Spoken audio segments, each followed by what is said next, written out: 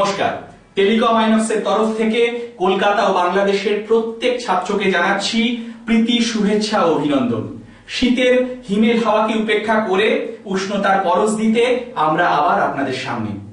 বলুন তো, ঈগল পাখির সাথে সাধারণ পাখিদের পার্থক্য কোথায়? যখন প্রচণ্ড ঝড় বৃষ্টি হয়, তখন সাধারণ পাখিরা কি করে? নিশ্চিন্ত আশ্রয়ের জন্য ছুটে যায় কোনো আলাদা জায়গায়। কিন্তু ঈগল পাখিদের ক্ষেত্রে ব্যাপারটা একদম আলাদা। ঈগল পাখিরা ওই যে মেঘের উৎস, বৃষ্টি, তাকে উপেক্ষা করে মেঘের ওপরে উঠে যায়। প্রতিবন্ধকতাকে জয় করতে হবে। সমস্যা তো আসবে এবং তার সমাধানও থাকবে। সমস্যার সমাধান কে কীভাবে করতে পারছে, তার উপরেই নির্ভর করে সফলতা। আসুন আমরা পরিচয় করব আজকে আমাদের সাথে আর এক ইগল পাখিকে। সঞ্জয় শর্মার সাথে পরিচয় করা সেরকম কোনো ব্যাপার নেই। খুব সাদা মাঠা, মাটির মানুষ সঞ্জয়। প্রচুর কাজ করে সারা দিন কাজ নিয়ে ব্যস্ত থাকে। সফটওয়্যারের হেড হার্ডওয়্যারের হেড এক কথায় মোবাইলের শিল্পী বিশ্বকর্মা। আসুন পরিচয় করাই সঞ্জয়ের সাথে। সঞ্জয় দেখাবে আজকে আপনাদের একটা অদ্ভুত টিপস আসুন সঞ্জয়ের মুখ থেকেই শুনব যে ও কি দেখাবে। আপনাদের যখন মোবাইলের সমস্যা হবে, ফোন করুন। আমাদের number nine eight three one four six three eight zero two মাত্র একটা ফোন, জীবনের স্বপ্ন পূরণ। আসুন দেখব সঞ্জয় কীভাবে এই প্রবলেমটা সলভ করছে। Sanjay carry on okay sir first যেটা আমরা দেখছি নোকিয়া মোবাইলে প্রচুর প্রবলেম আসছে। দেখুন সেটটাকে অন করি। কি প্রবলেম হচ্ছে এখানে? সেটটাকে অন করলাম নোকিয়া লেখা এলো। হ্যান্ড শেকিংও হলো। এরপরেই প্রবলেমটা শুরু হয়ে যাচ্ছে। মানে ব্লিঙ্কিং শুরু হয়ে যাচ্ছে। দেখুন ব্লিঙ্ক করছে ফোনটা দেখা যাচ্ছে কি? ব্লিঙ্ক করছে। তো এই ক্ষেত্রে বিভিন্ন জায়গায় আমরা যাচ্ছি দেখছি বিভিন্ন ধরনের বক্স ইউজ করছে তারা। মানে বিভিন্ন বক্সে বক্স আছে সেই সব বক্স ইউজ করছে। আমরা উইদাউট বক্স মানে কোনো বক্সই লাগবে না ফ্ল্যাশিং করে দিতে পারব সফটওয়্যার ফ্ল্যাশিং করে দিতে পারব। প্রচুর রকমের প্রবলেম আছে। তো আজকে দেখে নিই আমরা কীভাবে এটাকে সলভ করছি। দেখুন একটা জাস্ট কেবেল রয়েছে আমাদের কাছে ইউএসবি কেবেল আর কোনো বক্স আছে কি? কাছে কোনো বক্স নেই। আজকে আমরা শুধু এই কেবেলটা দিয়ে মোবাইলটাকে ঠিক করে দেবো। দেখি কীভাবে করা যায়। তো তার জন্য ফার্স্ট যেটা করতে হবে, আমাদের একটা সফটওয়্যার রয়েছে। তার আগে একটু বলে নিই সফটওয়্যারের সম্বন্ধে আমাদের একটা টিএফএ বলে সফটওয়্যার আছে ট্র্যাক ফল্ট ফাইন্ডিং শুনলেন? তো এইটা দিয়ে আমরা মোবাইল না খুলে ফল্ট ফাইন্ডিং করতে পারব। প্লাস যেটা আজকে দেখছি আমরা ইউএসবি কেবল দিয়ে ফ্ল্যাশিং করে দিতে পারব নোকিয়া নয় শুধু স্যামসাংও করে দিতে পারব। ক্লিয়ার কি? তো আমরা ওই টিএফএফ এর সফটওয়্যার দিয়ে আজকে দেখছি এটা কীভাবে করা যায়। তো তার জন্য আমাদের সব ইনস্টল করাই আছে তো ফার্স্ট খুলছি এটাকে অনেক মানে টেলিকম আইনক্স সফটওয়্যার ইনস্টল করলে এই লোগোগুলো সব চলে আসবে স্ক্রিনের উপরে। অন করার পর ফার্স্ট যাব এখানে ফাইল ফাইলে গিয়ে ওপেন প্রোডাক্ট মানে কোন প্রোডাক্টকে আমি ফ্ল্যাশ করতে চাই? এটা কি নোকিয়া একত্রিশ দশ? তো একত্রিশ দশের জন্য আর এম দুশো সাঁত্রিশ মানে হার্ডওয়্যার ভার্সন হার্ডওয়্যার ভার্সন অনুযায়ী মোবাইলটাকে সেট করতে হবে। তারপর চলে যাব এখানে। ফ্ল্যাশিং বলে অপশন লেখা আছে। ফ্ল্যাশিং এ গিয়ে ক্লিক করব। ফার্স্ট অপশনটা কি রয়েছে? ফার্মওয়্যার আপডেট ক্লিক করব এখানে। ক্লিক করলেই প্রোডাক্ট ইনফরমেশন বলে কিছু ইনফরমেশন আসবে। তো আমরা সেখানে চলে যাব। সোজাসুজি এখানে ব্রাউজ এখানে গিয়ে ফাইল সিলেক্ট করতে হবে। এই ফাইলও টিএফএফ এর মধ্যেই দেওয়া আছে আইনক্স টেন ওকে চলে এলো, যেই ফাইলটা আমরা ফ্ল্যাশ করছি তার version seven point three zero এরপর যেখানে ক্লিক করব, এইখানে dead mobile USB flashing click click করার পর এবার মোবাইলটাকে আমরা কানেক্ট করব ইউএসবি কেবিল দিয়ে। কানেক্ট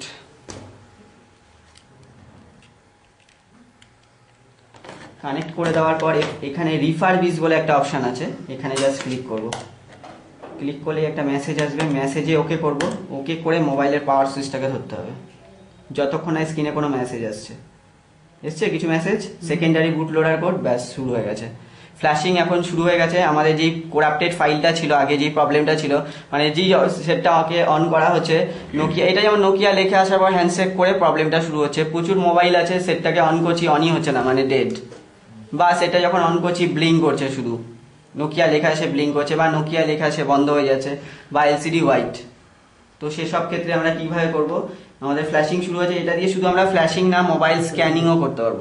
ধরুন কোনো মোবাইলে কোনো ফল্ট এসে ধরুন একটা কাস্টমার আপনার কাছে নিয়ে এসছে মোবাইলটার এলসিডিটা সাদা। প্রবলেমটা নিয়ে এসছে, তো আপনাকে দিল আপনি এলসিডি রিপেয়ার করে দিলেন, ঠিক আছে? নেওয়ার পর সে বলছে বস দেখুন তো, আপনাকে দেওয়ার পর এই প্রবলেমটা শুরু হয়ে গেছে, আমার কিপ্যাডে কাজ করছে না। হতেই পারে আমার এলসিডি যদি ঠিক না থাকে, আমি কিপ্যাডের প্রবলেম বুঝব কি করে, তাই না? তো আমরা এই সফটওয়্যার দিয়ে মোবাইলটাকে ফুললি স্ক্যান করতে পারব, কি প্রবলেম আছে? কাস্টমারকে বলব, আপনি একটু দাঁড়ান, আমি স্ক্যান করে দেখে নিই কি প্রবলেম আছে। স্ক্যান করে দেখে নিলাম দেখছি আমি কিপ্যাডের প্রবলেম আছে তাকে- সেই অনুযায়ী আমাদের রেটটা বলতে হবে। মেন তো এইটাই না? তো আমাদের পুরো ফুললি স্ক্যান করে তারপরে প্রবলেমটা দেখা উচিত কি কি প্রবলেম আছে। তো ফ্ল্যাশিং হতে একটু সময় লাগবে আমাদের।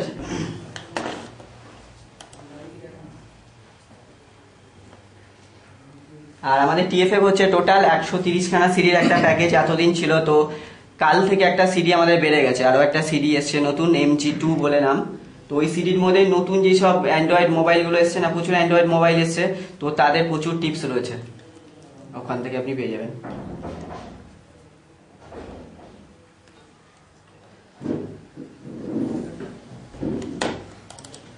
প্রচুর প্রচুর এম এস করুন আমাদের। আমাদের number nine eight three one four six three eight zero two. আমাদের স্লোগান তো আপনাদের সবার মুখস্থই হয়ে গেছে, মাত্র একটা ফোন, জীবনের স্বপ্ন পূরণ। যত আপনারা এস এম এস করবেন, আমাদের খুব ভালো লাগে, আপনাদের প্রবলেমগুলো আপনারা আমাদের এস এম এস করে জানান। আর নির্ভয় ফোন করুন, রাত্রি আটটা থেকে দশটা। মোবাইল রিপেয়ারিং কোনো দুর্বোধ্য ব্যাপার নয়, একটু চেষ্টা, একটু বুদ্ধি থাকলেই করতে পারা যায়। অনেকে বলে মোবাইল রিপেয়ারিং এর জন্য প্রয়োজন হয়, প্রচুর ইলেকট্রনিক্স এর নলেজ ইলেকট্রনিক্স প্রচুর দখল থাকা দরকার। আমি ব্যক্তিগতভাবে, আমি তা কখনোই মনে করি না। আমার মনে করি যে আমাদের কলকাতার বুকে বা বাংলাদেশের বুকে যেসব ছেলেরা রয়েছে, একটু বুদ্ধি খরচ করলে সাধারণভাবেই আমরা সেটা করে ফেলতে পারি। এই জন্য একটু বুদ্ধির দরকার, আর দরকার হচ্ছে সঠিক পথ। সেই পথটা আমাদের ধরতে হবে। সঠিক পথ ধরে এগিয়ে যেতে হবে, কোনো চিন্তা নেই। আমি সব সময় আছি আপনাদের সাথে। আবার মনে করিয়ে দিই, আমাদের নম্বরটা nine eight three one four six three eight zero two. মাত্র একটা ফোন, জীবনের স্বপ্ন পূরণ। দেখতে থাকুন প্রবলেমটা, কীভাবে আমরা এগুলো সলভ করছি। প্রত্যেক মুহূর্তে মনে সাহস রাখুন। সাহস নিয়ে এগিয়ে যান, কোনো চিন্তা নেই। মোবাইল রিপেয়ারিং এর একটা নির্দিষ্ট পথ ধরে আমরা এগিয়ে যাব। সাধারণ কনভেনশনাল যে ওয়েতে মোবাইল রিপেয়ারিং শেখানো হয়, আমরা সেইভাবে শিখতে চাই না, শেখাতে চাই না। একটু নন কনভেনশনাল ওয়েতে একটু অন্যভাবে শেখাতে চাই। ভিড় বাসে, ট্রামে বসে আছেন মোবাইলের প্রবলেম হয়েছে। কোড বানিয়েও মোবাইলকে সলভ করা যায়। তাহলে যে জিনিসটা আমরা করব, তাকে ভালোবাসতে হবে। আমাদের স্কুলের অঙ্কের মাস্টারমশাই বলতেন, যে জিনিসটাকে তোমরা ভয় পাও, সেটা বেশি করে করো। অঙ্কে যাদের ভয়, তারা প্রচুর অঙ্ক কষো একদম সঠিক। যদি মোবাইল রিপেয়ারিং এ ভয় লাগে বারবার মোবাইলটাকে নাড়াচাড়া করুন খুলুন। আমি তো রয়েছি আপনাদের সাথে। কোনো অসুবিধা নেই ফোন করবেন আমাদের নম্বরে। দেখতে থাকুন কি হচ্ছে। সঞ্জয় বলতে থাকো আর কি কি প্রবলেম আছে?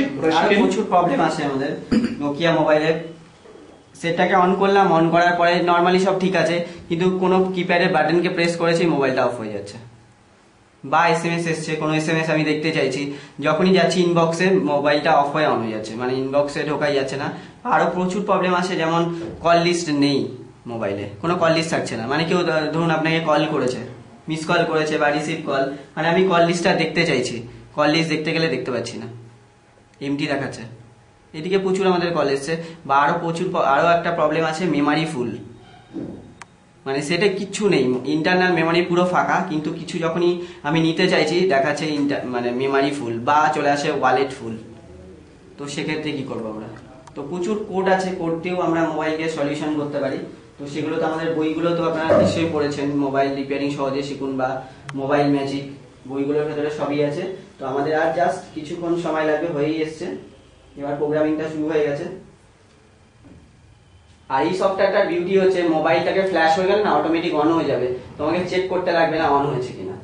ফলে আমার অন অফ সুইচের প্রবলেম থাকলে আমি ডিটেক্ট করে ফেলতে পারছি। ধরুন কোনো মোবাইল ডেড আমি এখান থেকে লাগাচ্ছি, দেখছি অন হচ্ছে কিন্তু অন অফ সুইচ অন হচ্ছে না। তার মানে ফল্ট কোথায়? On off switch on off switch খারাপ হতে পারে। তখন জাস্ট একটা জাম্পার মারবো টেস্ট পয়েন্ট থেকে। সমস্যাটা ভালো করে বুঝে নিয়েছেন তো? এবার দেখুন সমাধানটা কীভাবে হচ্ছে। প্রত্যেক সমস্যা থাকলে সমাধানেরও একটা সঠিক পথ থাকবে। সেই পথটা আমরা ধরতে পারি না বলেই আমাদের যত সমস্যা। এখানে যে সমস্যাটা ছিল সেই সমস্যাটা ছিল হচ্ছে এই সেটটা অন করছে। হ্যাঁ সেটটা অন করলাম নোকিয়া লিখে এলো। আসার পর হ্যান্ডশেক হলো। হ্যান্ডশেক করার পরে কি শুরু হয়ে গেল? ব্লিঙ্কিং শুরু হয়ে গেল মানে সেটটা অফ হচ্ছে, একবার অন হচ্ছে অফ হচ্ছে অন হচ্ছে। মানে প্রপার ওয়েতে বুট হচ্ছে না বুট হতে পারছে না। তো সেই সমস্যাটা থেকে উদ্ধার পেতে গেলে আমাদের এই প্রসিডিওর অ্যাপ্লাই করতে হবে। কিন্তু দেখতে তো হবে যে সেই প্রসিডিওরটা সঠিক কিনা। আমরা তো করতে শুরু করে দিয়েছি, এগিয়ে যাচ্ছে বার আপনারা দেখছেন প্রত্যেকে? এগিয়ে যাচ্ছে বার এবার দেখা যাক যেটা করার পরে সমস্যার সমাধান হচ্ছে কিনা। যদি এই সমস্যার সমাধানের থেকে হয়ে যায়, তাহলে তো আমরা বুঝতেই পারব যে সমাধান কি। প্রত্যেকটা জিনিসের আলাদা আলাদা পয়েন্ট করে করে আপনারা লিখে নিন, কোনো অসুবিধা নেই। দেখুন কীভাবে এটা হচ্ছে। আর কতক্ষণ? এই তো 98% নাইনটি এইট পার্সেন্ট হয়ে গেছে। হয়ে গেছে মোবাইল রিপেয়ারিং করতে গেলে একটু ধৈর্যেরও দরকার আছে। তো সেই ধৈর্য নিয়ে এগিয়ে যেতে হবে। খুব কঠিন লাগছে কি ব্যাপারটা? নো স্যার ঠিক কোনো অসুবিধা নেই?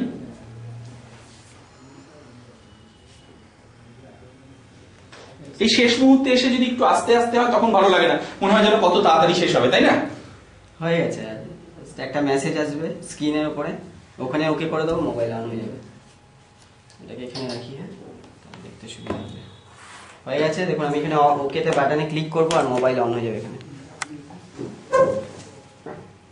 হয়েছে কি অন দেখুন মানে কি প্রবলেম ছিল নোকিয়া লেখা আসার পরে ব্লিঙ্কিং শুরু হয়ে যাচ্ছিল এখন কি আছে ব্লিঙ্কিং